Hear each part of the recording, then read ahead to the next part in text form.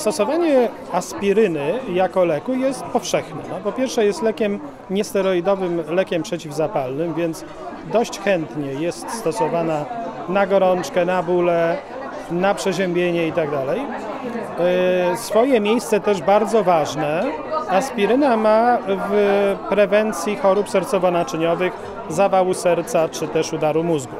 Więc jest to lek niewątpliwie powszechnie stosowany i bardzo ważny. Ale mało kto wie, że przewlekłe stosowanie aspiryny e, jest niezależnym czynnikiem ryzyka ciężkiego przebiegu grypy.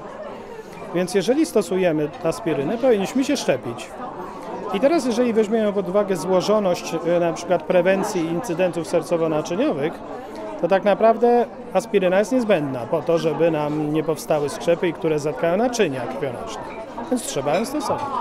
Ale szczepienie przeciw grypie też jest elementem prewencji pierwotnej i wtórnej zawału i udaru. Więc jeżeli ktoś stosuje aspirynę, powinien się szczepić. Jeżeli ktoś miał incydent sercowo-naczyniowy, czytaj udar, zawał, też się powinien szczepić. Ale co ważniejsze, jeśli nie chce mieć udaru lub zawału, też się powinien szczepić.